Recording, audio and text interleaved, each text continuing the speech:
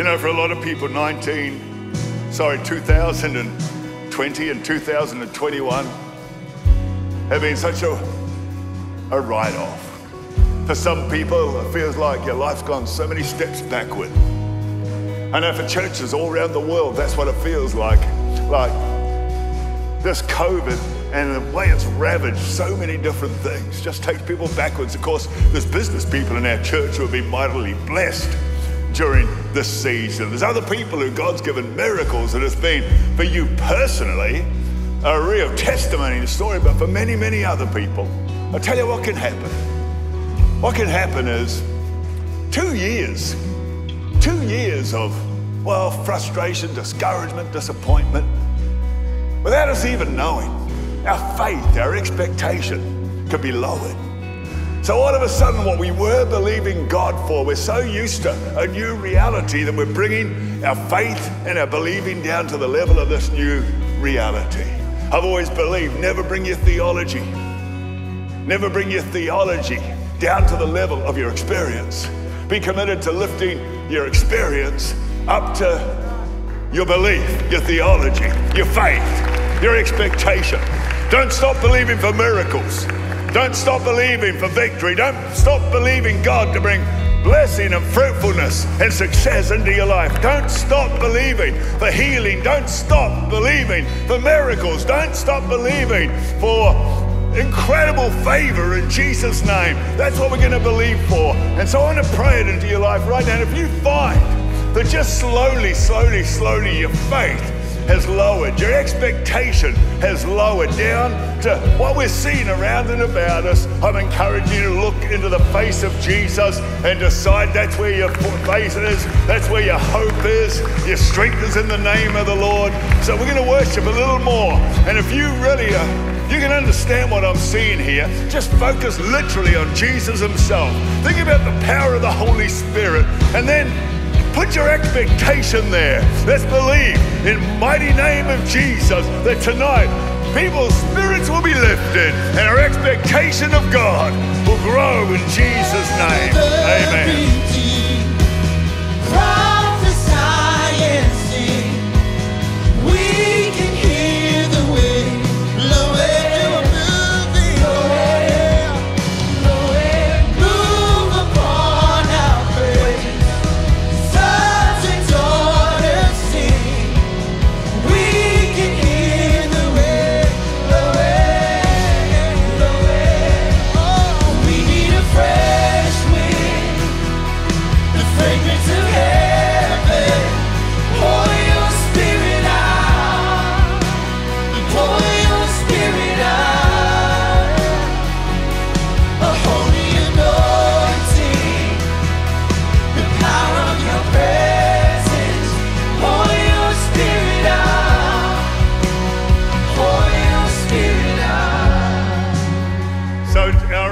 Service is always about 20 the next year, the next year. So you know what? I'm going to take a moment right now. We can't anoint you with oil, but some of our pastors can go up these stairs and put their arms, their hands towards sections of the crowd like that. And we can believe in Jesus' name that God will, in your life, make 2023 a year of turnaround. Do you know what? I love Luke 4:19, where it's speaking of Jesus and his mission on earth. And it says to proclaim the year of the Lord's favor. To what?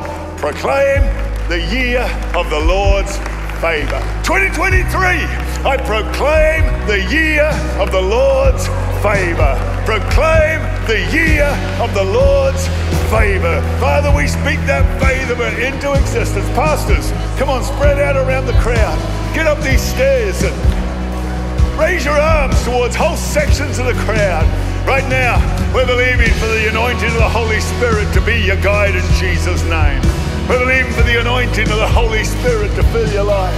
We're believing for the anointing of the Holy Spirit. Amen. To break the power of darkness, to break the yoke in Jesus' name. Hallelujah, Lord.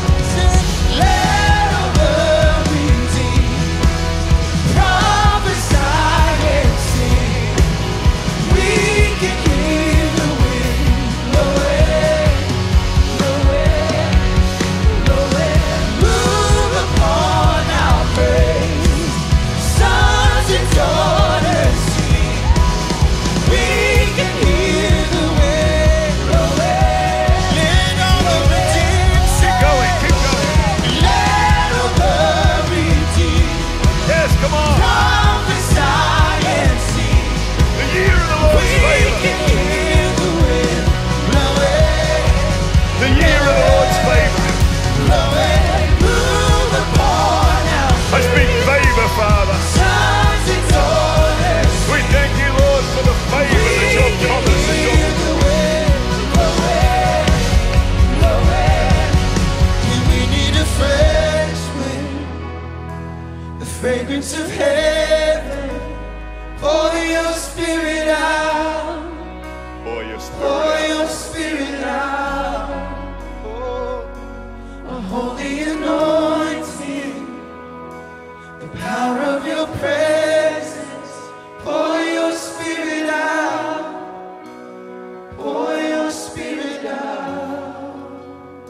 just going to take a moment of stillness. Keep your hands raised toward heaven if you want to do that. Just think about your expectation, your belief. I've been speaking about the year of the Lord's favor. Your expectation, your belief for 2023. Specific things. Specific things. Prayers that you're believing in 2023. God will answer. I will either give you one, then he'll give you two, then he'll give you three, then he'll give you, oh, I keep saying 2023, I'm sorry. I'm a year ahead of myself. I just got a note 2022. That's because I live in the future. It's because I'm prophetic. So next year's only 2022, right? oh, that's good. Okay. Same deal. We're not finished. Come on, raise your hands, raise your hands. 2022. Come on. I'm going to believe one thing, two things, three things that God will put on your heart. Specific things you're believing God's favor on your life for this coming year. Thank you, Jesus.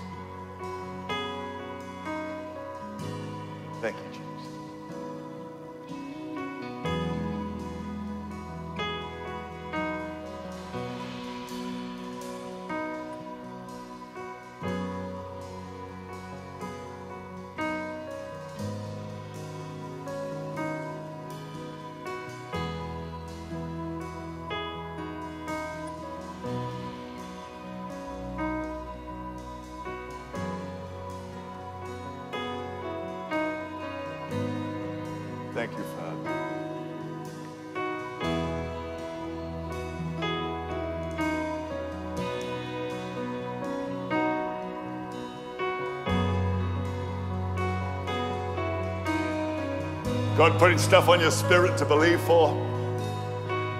Let's believe for some of those impossible things. Young people coming back to the Lord. Mental health battles with their kids seeing a real breakthrough and a victory. Favor coming back into your business. Favor coming back into your work. Healing for your marriage. Breakthrough in your personal life. Addictions broken in Jesus' name. chains falling off. Thank you, Jesus.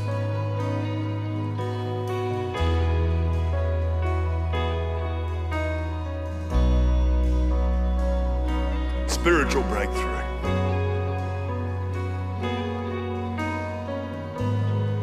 Come on, let's sing.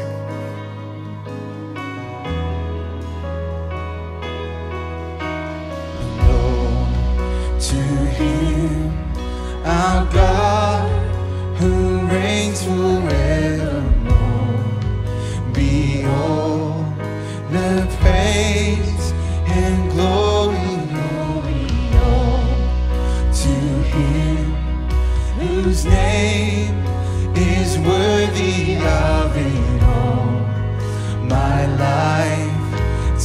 Jesus I surrender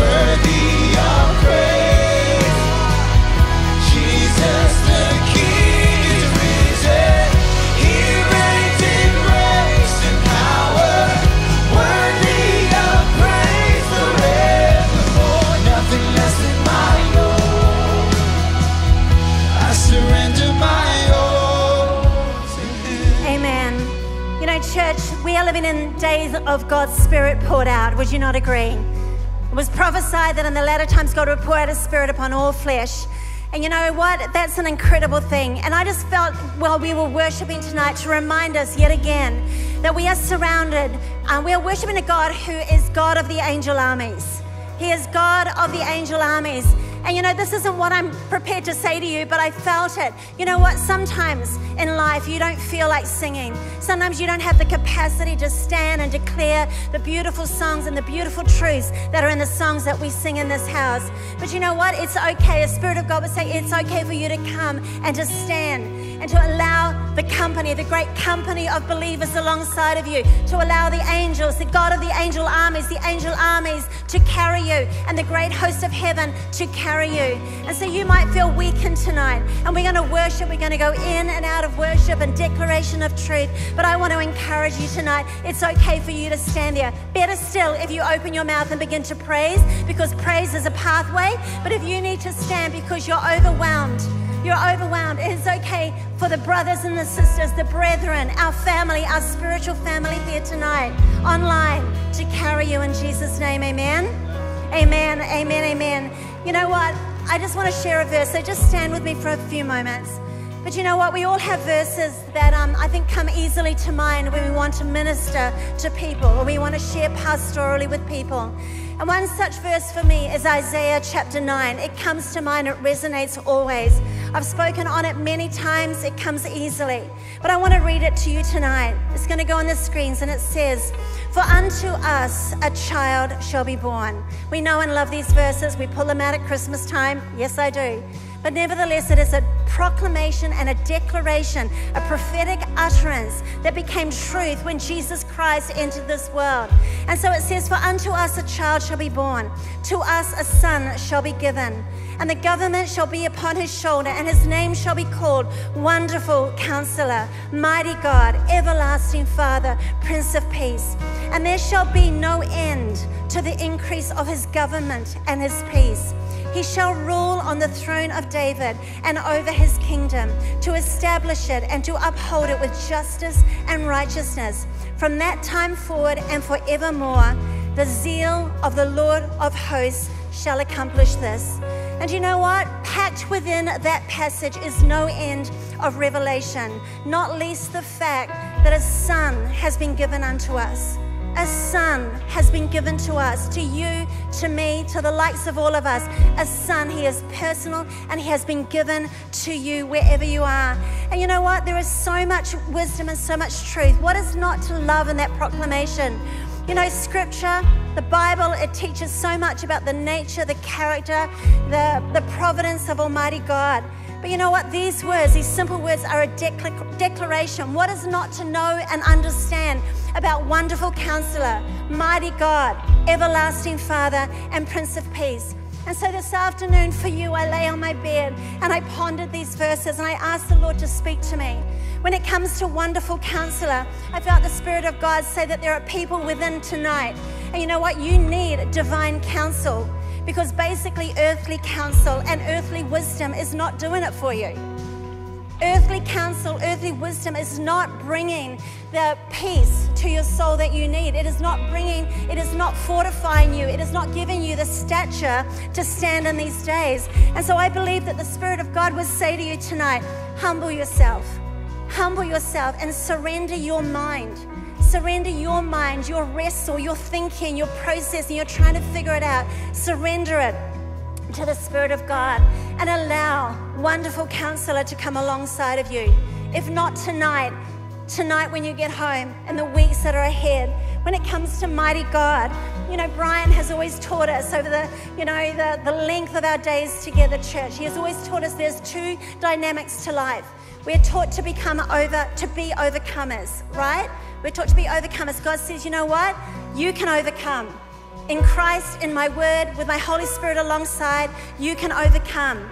But then also, He has taught, the scripture teaches that there is a God who is a deliverer. And we sometimes need a deliverer because there is no way out. And I believe that the Holy Spirit would say to you tonight be still yet again and know that He is God. And know that you can trust a mighty God who is able to deliver. I may as well speak that into my own heart right now. because that's where we are. When it comes to everlasting Father, oh my goodness, if you missed Gary Clarke's message this morning, church, I implore you, I compel you to listen to it because it is a profound message for this season in our church. But you know what? Jesus came for one reason. He came for one reason, and that was to reveal the heart of the Father. He came to reveal the heart of the Father, Abba Father, which means Abba Daddy. And I feel compelled by the Holy Spirit to tell you a story. And many, many years ago, on a night like this in the Old Hills Center, way back in the day, we had a ministry night like this. And I remember the Holy Spirit, Holy Spirit came so present to me, and you've heard this story before. But nevertheless, it felt like I was standing on the edge of the throne room of God, uh, standing on the edge, looking in just looking in, and I felt the Holy Spirit come alongside. And He literally nudged me and He said, You know, you can go in. You can go in. You can go in. You can sit at the Father's feet. You can sit. You can lean against His knees. You can even climb up into His lap. And I just want to encourage you tonight, church, that there is an everlasting Father. And God is many, many things. He is holy, He is righteous, He is all of these things. But I'm telling you, above and beyond anything, he is an everlasting Father to you. And I believe the Holy Spirit would encourage you to understand that with deeper revelation in the days that are ahead. And then finally, Prince of Peace. He is Prince of Peace. And you know, peace is a person, and his name is Jesus. And um, you know, this world, allow me to be bold, church. This world no longer feels safe. It no longer feels safe. You know, it doesn't matter where your geography is. Changing geography doesn't necessarily make people feel safer. Changing jobs doesn't necessarily make people feel safer. You know, without a shadow of a doubt, the spirit of Antichrist is in the earth. Jesus said it was already in the earth. Spirit of Antichrist, the spirit of lawlessness, has been unleashed with greater vengeance on the earth. So, wherein do we find our safety, church? Running away doesn't, you're not going to feel safer by running away. Your safety is found in the person of Jesus Christ. He is our peace, He is the Prince of Peace. And so I just believe that the Holy Spirit wants to draw near tonight for us to stir up our faith and lean in to wonderful counselor, mighty God, everlasting Father, Prince of Peace in Jesus' name. And you know what? If you're here tonight, I'll just take one angle, but if you're here tonight and you need divine counsel, Earthly counsel, earthly wisdom, figuring it out in your own strength is not working. I want to implore you, I want to pray for you in Jesus' name. So if that's you tonight, why don't you just raise your hand or your heart, just lift it towards me. You need divine counsel in any, any area of your life. I am praying, Father God I am praying, Father God, that you will walk amongst us as we worship you. You will walk amongst us. Lord, I know this of you, Jesus. I know that you can walk amongst the, the aisles and the rows. I know that you can draw near and that you can actually speak into our hearts. Prince of Peace, we welcome you in this place. Prince of Peace, we declare that you are our Lord. You are welcome in this place, Holy Spirit. In Jesus' name, amen. Come on, let's just sing, sing this again. Beautiful.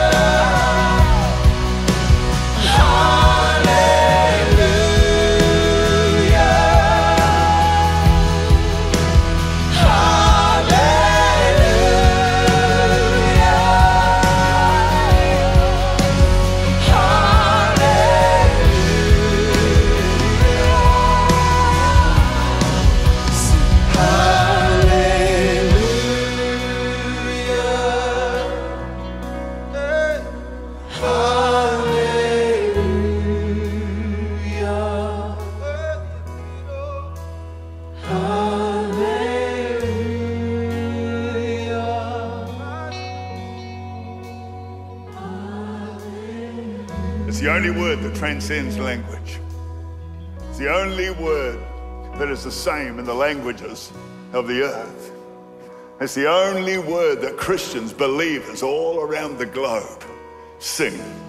Portuguese, Spanish, Asian languages, African languages, Greek, Italian, you name it. I mean, there's a myriad of languages out there. The hallelujah. It reigns supreme. It reigns supreme. It's a declaration of God's majesty, God's glory. It exalts Him. Hallelujah. People try to use it in, a, I don't know, sometimes a, a way that you know, people go, hallelujah. But big picture, there's only one thing it's worship, it's praise, and it's beautiful. We're going to sing it one more time, but you know what? God's going to minister to people in the back rows. Sometimes you think you're safe in the back rows, but it's a dangerous place to be when God decides to move. So, you know, believe as we sing this one more time. If I was you, I'd, I'd have my, my spirit ready, my heart ready, because God's going to minister to people up there. If you're brokenhearted, I believe that God can literally heal your broken heart tonight. If you came in here depressed and discouraged, I believe you can walk out uplifted and see light at the end of the tunnel and see faith and see hope. I believe that God tonight, no matter how you came in here, you can go out in a totally different frame of mind, a totally different place. And come on, let's sing hallelujah.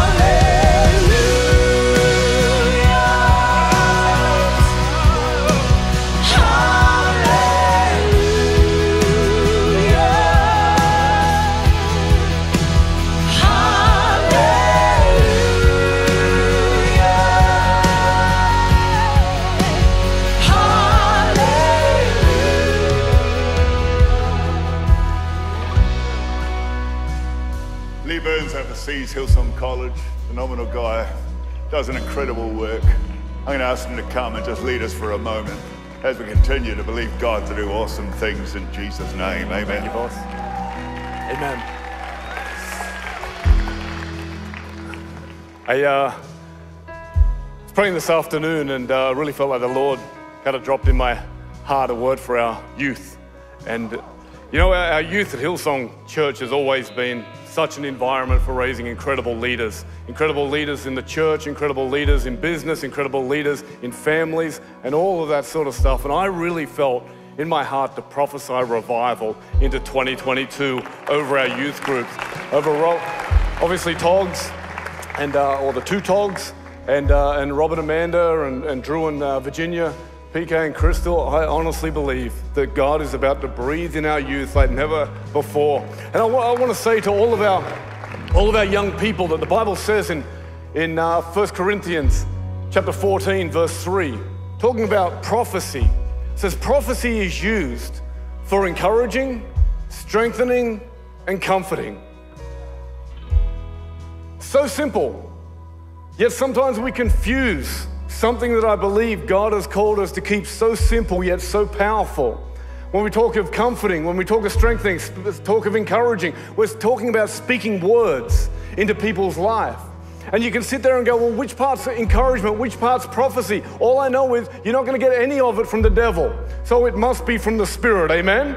And I believe that our youth are called to be prophetic. I believe that our youth are called to speak over one another's life. It's like shooting arrows into the enemy's camp, saying you cannot keep them down. You cannot have them going into depression or whatever it may be, because God's Spirit is prophetic and everything about His Spirit is prophetic. Amen. So I'm going to prophesy revival into our youth come 2022. So if you're a youth leader in this place, I'm going to ask you just to raise your hand because I want to pray for you right now. I want to pray that there'll be a revival in spirit, that there'll be a revival as you read the Word of God, that it'll get in you, that it'll feel like Jeremiah to the point that you can't hold it down, you cannot contain it, you have to unleash it. Father, I thank you for each and every youth leader in this room right now. Father, I thank you that you've called them to lead our youth, to speak life into our youth, to raise our youth, to be the next leaders in Jesus' mighty name. I thank you for what you're doing in and through each and every youth pastor, each and every RDG leader. And we speak revival into our youth.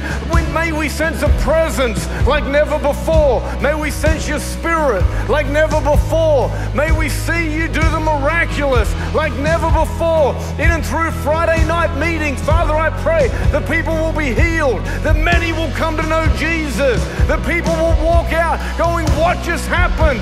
What just happened? Because heaven just touched earth. I thank you for all that's ahead, for each and every leader in Jesus' mighty name. And a faith filled church said together, Amen, amen, and amen.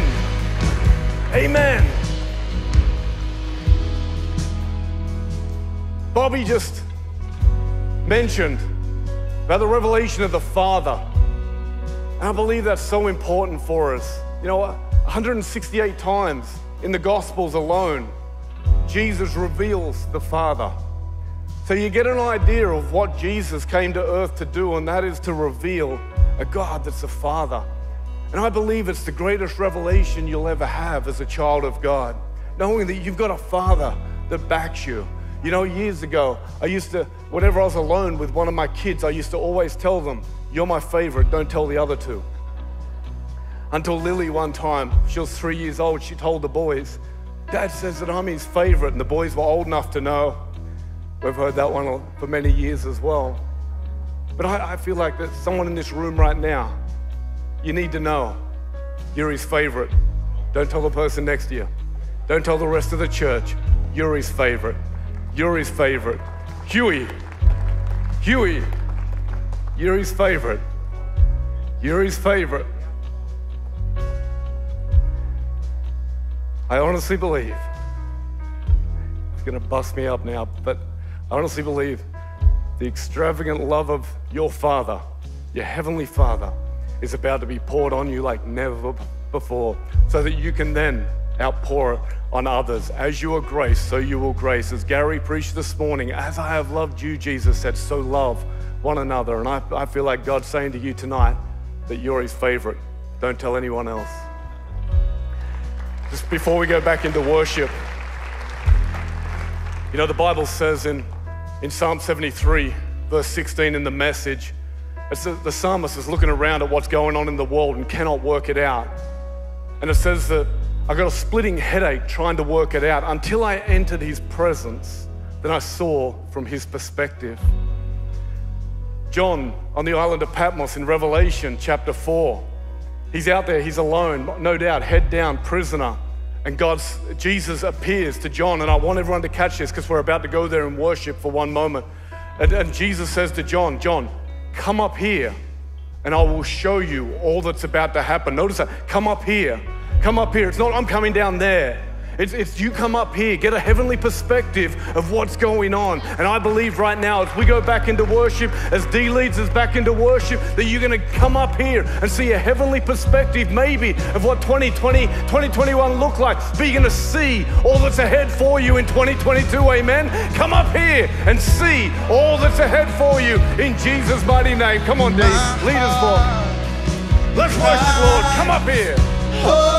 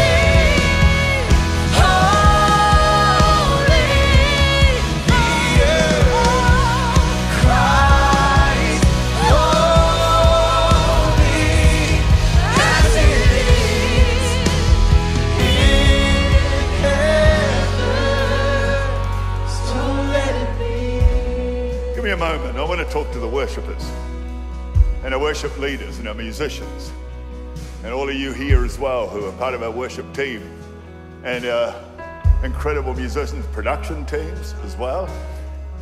Someone doing these lights here, someone doing this microphone, someone there making sure it's coming through that monitor. But you know what? And our television people, and I could keep going. There's so many behind the scenes people making this happen. You know what I'm believing? Spiritual renewal for you all. I believe next year, collectively, as we lead the world in worship collectively, you're going to have a fresh thing in your heart. You're not going to be coming out of old wine. It's new wine, new wine. New wine's dangerous. You know, it's dangerous. And that's what I'm believing for, for you to just get dangerous when it comes to stepping out in faith and leading people in praise and worship. But main thing I am believing for is you'll, you know, just fall in love with what you do again. And, and really you'll think, you know what, this is the best thing I could be doing with that gift.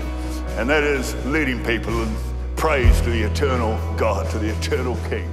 So can you put your hands toward all of our worshippers? Hold it over here if you want to raise your hands that way. Of course, they're all all over the church and other campuses, to other locations tonight. Rachel here in the front row, one of our absolute best. Come on, let's pray for them. In fact, Cass, why don't you come and pray for them? You come and pray for them. See if you lead them all. Let's believe God. New wine, fresh spirits. Oh, Holy God, we are so blessed that we get to call you ours, that we bring worship to you that is pleasing and acceptable. God, we love you, we honor you for who you are, and I pray for this team, God. I pray that your hand would be on them. Lord, that there would be a fresh anointing of your spirit. God, that you would pour your spirit out on them. God, that they would prophesy, that they would dream dreams, that they would have visions. God, no longer would we do what we have done before, but that we would break loose, God. We would bring you the honor and the glory that you deserve. God, I pray right now for new wineskins, God. No more doing things the way that we've done them, but that we will take authority, God. We would see people saved as we sing. We would see people healed as we sing. We would see songs that break chains, that bring captives home. That we would release prisoners from blindness and darkness. And God, I pray right now for new authority, a new sensitivity, and a new love for your Son, Jesus Christ. By your Spirit, may you bring change in Jesus' name. Amen. Holy,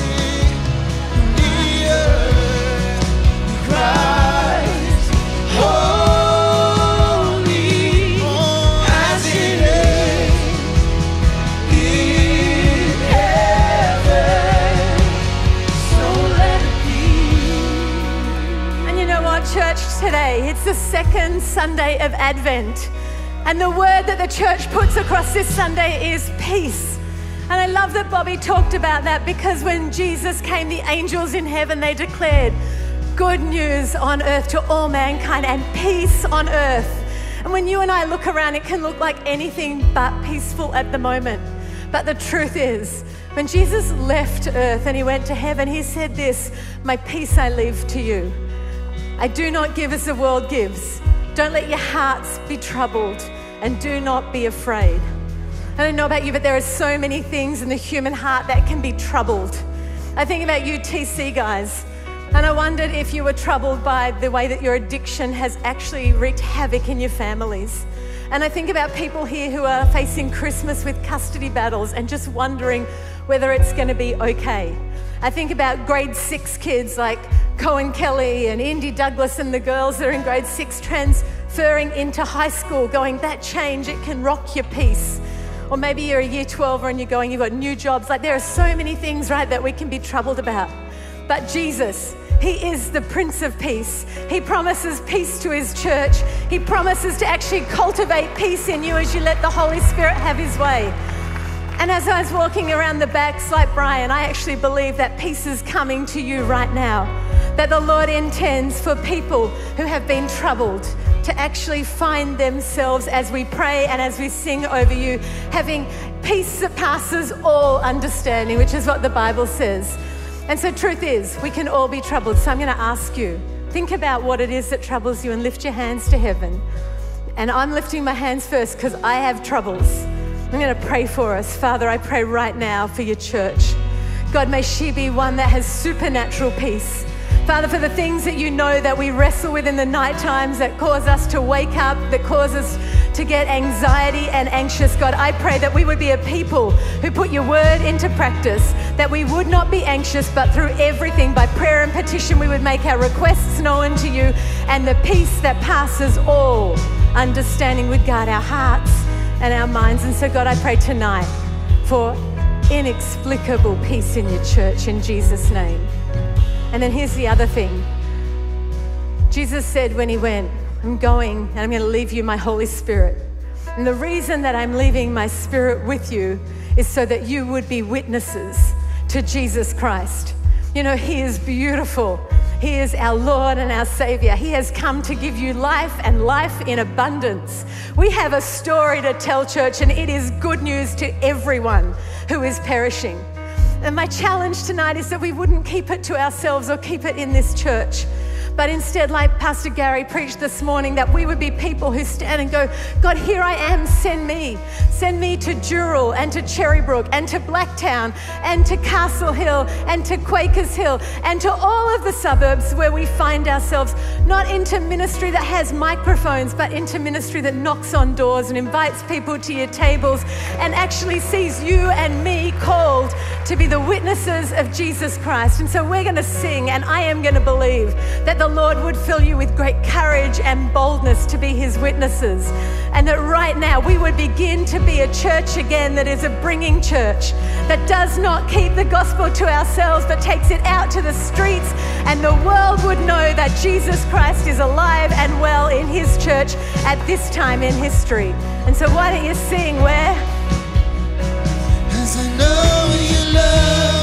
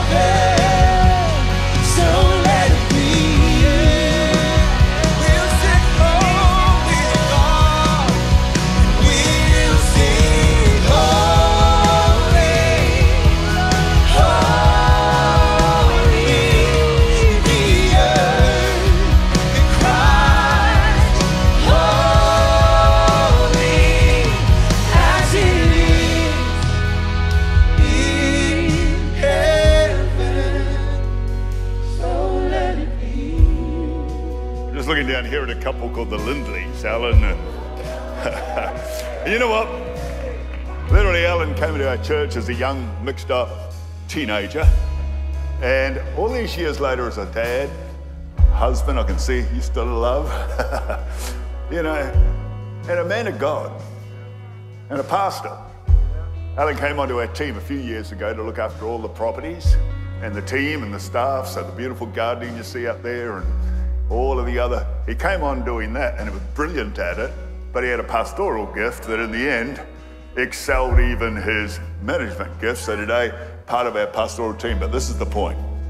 You know, faithfulness. Years and years and years and years and years of making choices and staying true to what you believe and who you are, both of you. I just believe that we still haven't even seen all that God's got for you. We still haven't seen. We haven't yet had a glimpse of all that God's got for you. God rewards faithfulness. He loves faithfulness and He rewards faithfulness. And if I was to describe Alan Lindley, I'd say he's a faithful man.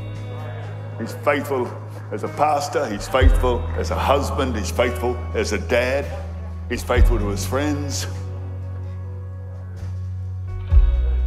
I'm going to lay hands on you, both of you. you said I'll make you cry. It'd be a failure if I didn't. Come on. Lord, I just thank you for this couple. Lord, I thank you the hand of God is on their lives. Lord, I thank you. You know their very deepest prayer. Lord, you know the things closest to their hearts. Maybe some things that no one else even knows. And Lord, I just thank you for their faithfulness, the huge blessing they are to our church. And Lord, I believe that you have things prepared for them in the heavenlies that they don't even know yet. And we believe for a release of your power and your promise, Lord, into their lives. And Lord, I believe you'll open doors they never expected, none of us could have expected. And the Father, they'll walk through them boldly and they'll see you fulfill your promise, your power in their lives. And I thank you for it in Jesus' name. Amen. Amen. Ah, sing one more time. We cry holy.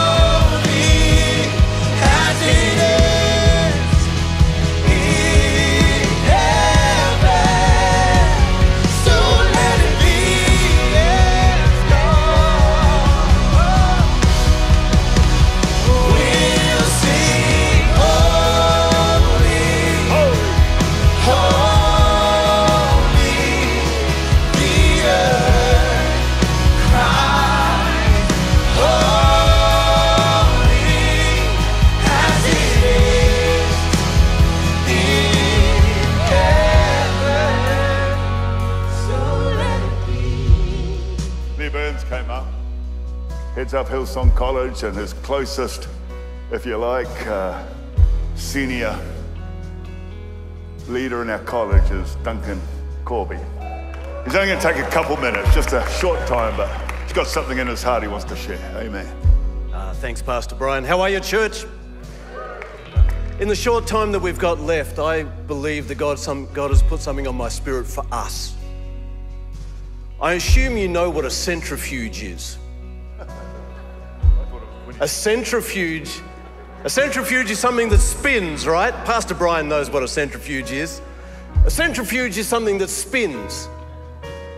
And as it spins, there is a force called a centrifugal force that wants the, the thing that is spinning to be forced outwards.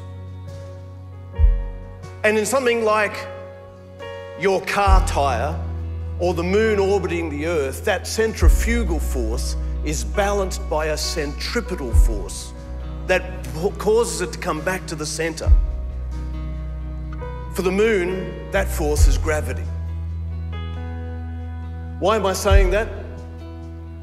Well, I think about the world that we've been in the last couple of years and the effect that it's had upon our lives and upon the church. It is like the world has started spinning faster. The forces that are causing things to scatter have increased. And I think we all know what those forces are. And for us as a church to move into 2022 with everything that God has got for us, we need a counterbalancing force to bring everything back together. Tonight, we're having a Holy Spirit night. The Bible tells us that we are one in the Holy Spirit. But that oneness is not achieved but by, just by saying it. It is achieved by actively moving in the Spirit. The Bible tells us in 1 Corinthians chapter 12 now to each one the manifestation of the Spirit is given for the common good. The Spirit is given to bind us together. The gifts of the Spirit are given to bind us together. The fruit of the Spirit is given to bind us together. The leading of the Spirit is given to bind us together. And for the remainder of this year and into next year, I want us to pray together as a community for an outpouring of the Holy Spirit, an active, powerful, dynamic, unstoppable movement of the Holy Spirit that will bind us together, that will counteract the forces in our world trying to fracture God's people and bind them together in a spirit of unity, a spirit of love, a spirit of peace, a spirit of hope, a spirit that can change the world. Are you ready, church? I would love everybody now to be on your feet because we're going to pray. We're going to finish this night together praying. Holy Spirit, come, come in our church, come in my life. I make myself available to you to move through me for the sake of your church. People of God, let's pray. Let's lay hold of God tonight. Let's call heaven down. We want God to move. Holy Spirit, come. Come on, cry out tonight for the power of the Spirit to be at work in our midst. In Jesus' name, Holy Spirit, come. Holy Spirit, come. Holy Spirit, be amongst your people. Don't just me pray, you pray. Cry out to God. Lay hold of God. Desperately grab a hold of Him. Bring Him down into our midst. Holy Spirit,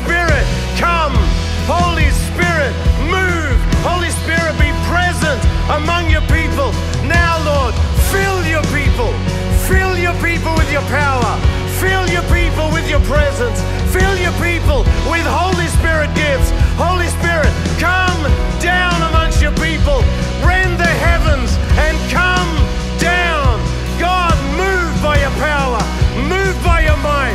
Holy Spirit, fill your people with new gifts, with new power, with new life, with new energy, with new strength, with new faith, with new hope, with new desire, new perseverance, new strength, new faith, new passion, new vision.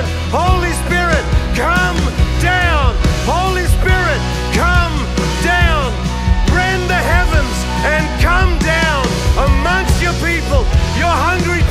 cry out for more and more and more and more.